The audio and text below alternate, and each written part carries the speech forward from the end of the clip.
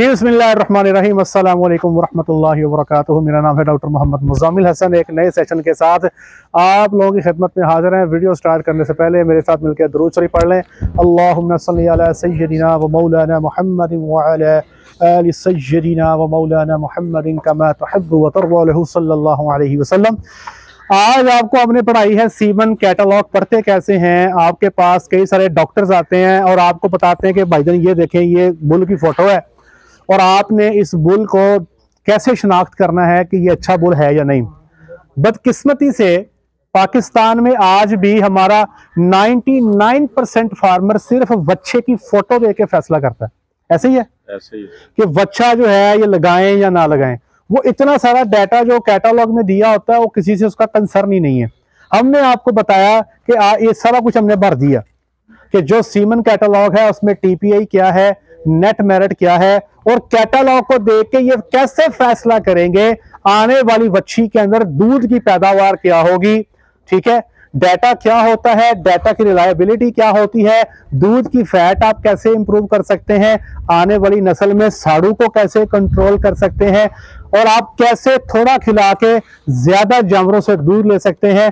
जानवरों में प्रेगनेंसी को कैसे इंप्रूव कर सकते हैं? दूध में प्रोटीन को कैसे इंप्रूव कर सकते हैं? और फिर ये भी आपने सीखा कि अक्सर एक सवाल लोग करते हैं कि ये हम ये बच्ची को टीका रखवाने जा रहे हैं। क्या इस टीका को रखवा के कहीं बछड़ी में टीका जो उसके नतीजे में बच्चा पैदा होगा कहीं वो फंस तो नहीं जाएगा कहीं उसको डिलीवरी के टाइम पे प्रॉब्लम तो नहीं आएगा। तो इन तमाम चीज़ों के सवाल हमने आपको जवाब देने की कोशिश की। मुझे पहले ये बताएँ कि क्या आज तक आप लोग इतने सारे फार्मर्स बैठे हैं? कभी इन चीज़ों को आपने सीमन सिलेक्शन करते हुए कभी नोट किया पहले? नहीं किया जी।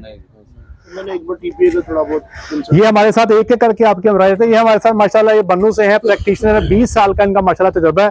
सर क्या फ़र्क महसूस करते हैं आप? ये हमने एक डेढ़ घंटा जो लगाया है इस वक्त आप इस प्रैक्टिस में क्या महसूस करते हैं? क्या तब्दीली नोट करते हैं? सर आज मैंने जितना भी देखा है ना या सीखा है हम्म। इससे पहले मैंने कभी ये चीज़ें नहीं सीखी। सही। हम सिर्फ़ लिटरेचर देख लेते थे और लिटरेचर की समझ हमें आती नहीं है। हम्म, और आगे से कोई बंदा जो भी सीमन वाला है वो जो भी सीमन पकड़ा देता हम वही लगा अब मेरा ख्याल है खान साहब आपके पास कोई भी कंपनी का नुमाइंदा सीमन लेकर आएगा आप कैटलॉग देख के सवाल कर सकते हैं। इंशाल्लाह। ऐसे ही है ना? आप उसके पास उससे पूछने को हो सकता है दस चीज़ें हों और आप हो सकता है कि उसका बुल पास कर दो हो सकता है उसका बुल रिजेक्ट कर दो और उसको बता भी दो कि भाई यार, ये मसला है। इसलिए मैं नहीं ले रहा। या आप कंपनी को पूछ सकते हो कि मुझे एक ऐसा बुल चाहिए जिसकी रिलायबिलिटी ओवर 75 परसेंट हो, इतना दूध फैट हो, आप अपनी मर्ज़ी का रिक्वायर्ड बुल जो है, वो उसकी चॉइस कर सकते हैं। पहले ये चॉइस नहीं थी। अब आप जब इस काम को करोगे ना, अब आपको मैंने सारी चीज़ें बता दी, अब आपके मुँह में आएगा पानी बुल को देख के। अव्वल तो अब नकम्मा बुल जो आपके सामने आएगा ना वो आप उसको चूज़ ही नहीं करोगे ना।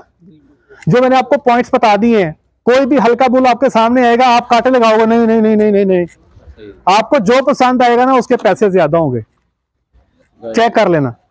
जो भी आपको पसंद आएगा ना आप कहोगे, फिर आपको समझ आएगी कि अच्छी क्वालिटी की जेनेटिक्स जो है, उसके लिए आपको पे करना पड़ता है। सिर्फ़ रंग बुत देख के हम फैसला जो करते हैं ना, भाई, इतनी सारी चीज़ें पढ़ाई हैं आपको सीमन कैटालॉग में। कहीं पे गोरे ने ये लिखा हो कि यार इसका रंग ऐसा होना चाहिए। नहीं। तो जो काम करने वाले हैं, नस्ल इंप्रूव करने के लिए जो पॉइंट्स हैं ये सारे आपको मैंने अलहदा बता दिए कि नैब कोड क्या होता है? सीमन का स्ट्रॉ अगर आपके पास हो उस सीमन को कैसे आप तलाश कर सकते हैं गूगल पे? ये सारी चीज़ें जो है आपके साथ डिस्कस हो गई। हाँ जी बताएँ जी। सर पहले तो मैं लोगों के ए का काम उधर कर भी रहा हूँ प्रैक्टिस अच्छा। पहले तो सीमर रखते थे सर कोई इतना नहीं कहते थे कि यार ये डोज दे दो। मैंने देखा है अच्छी डोज भी थी ना वो भी चार सौ रुपए की दे देते। सही है। तो वो ही उधर लोग जो है ना सौ रुपए वाली भी रख देते हैं दो हज़ार चार हज़ार में। हम्म। तो इस तरह पता चल गया है कि अच्छी डोज कौन सी है। अगर कोई बंदा अच्छा सीमन लेकर आता है ना और आपको समझ आ जाती है यार ये जो पॉइंट्स इसके बड़े अच्छे हैं तो फिर आपको ना पैसे देते दुख नहीं होगा।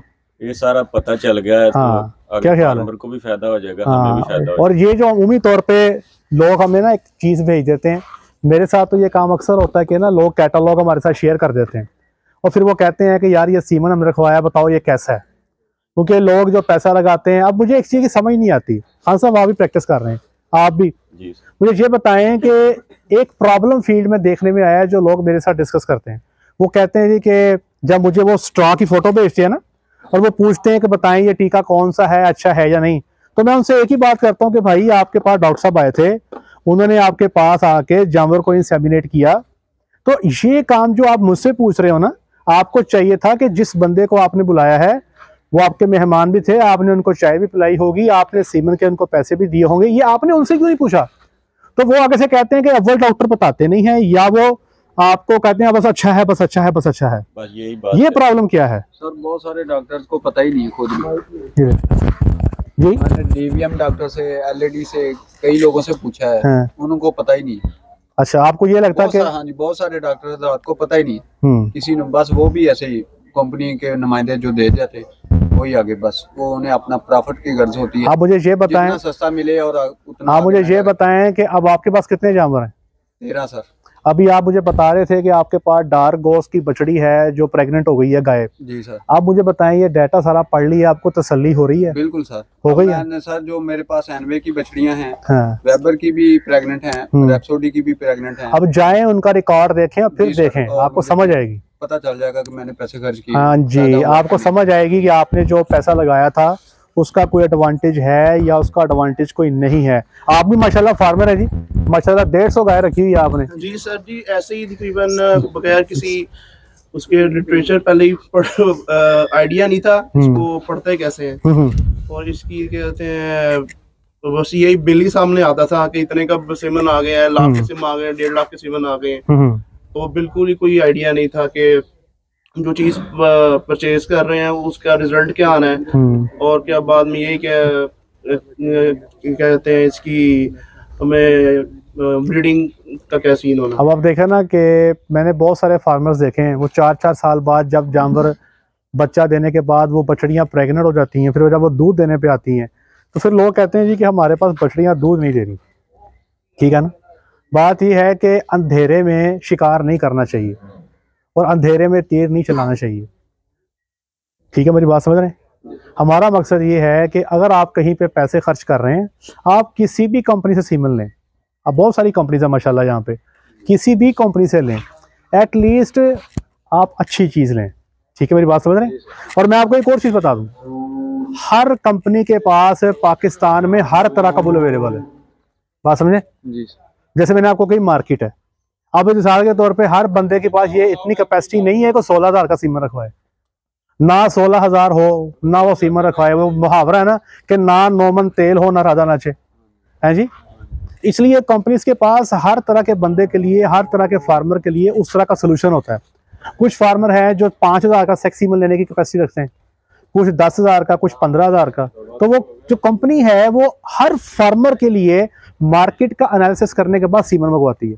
तो कंपनी के पास हर तरह का बुल अवेलेबल होगा। अच्छा भी होगा, दरमियाना भी होगा, बहुत तगड़ा भी होगा, हल्का भी होगा। अब ये आप पे डिपेंड करता है कि आप किस क्वालिटी पे काम करना चाहते हैं।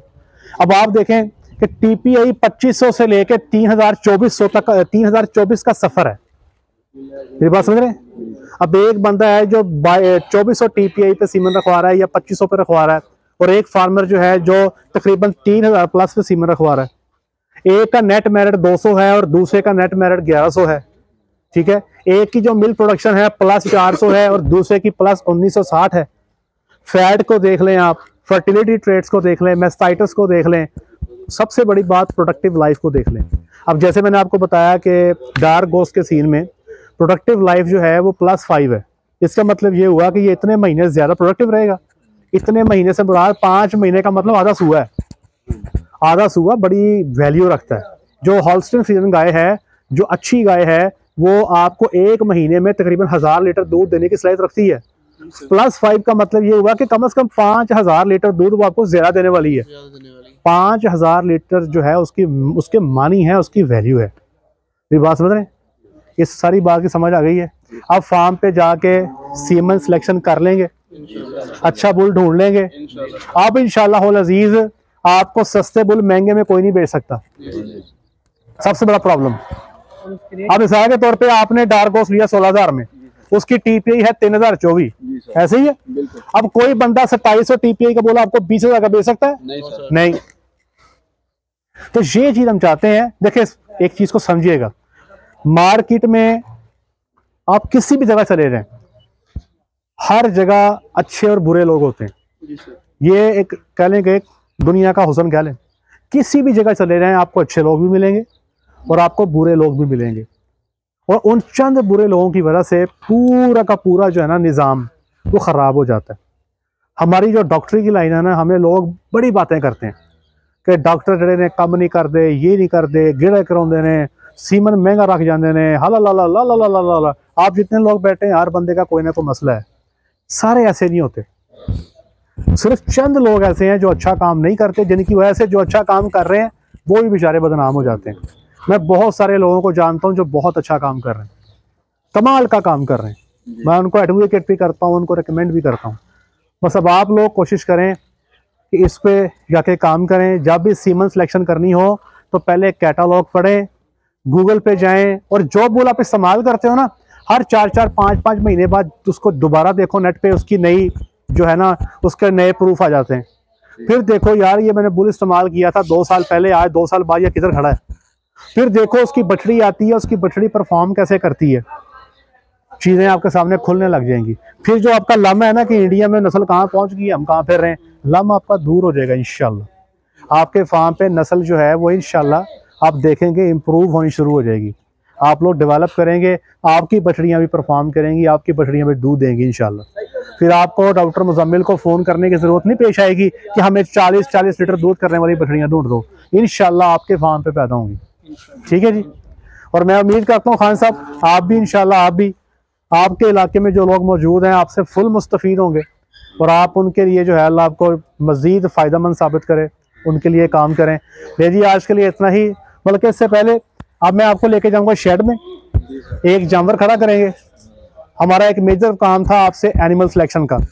अब वहाँ पे जाके हम बताएँगे कि एनिमल सिलेक्शन जो है, कौन से पॉइंट्स देखकर आपने करनी है। ठीक है जी? आज के लिए इतना ही, अपना ख्याल रखें, दुआ में याद रखें, पाँच वक्त की नमाज़ बाजमात आ करें। अल्लाम वरहमल वर्क हाँ जी?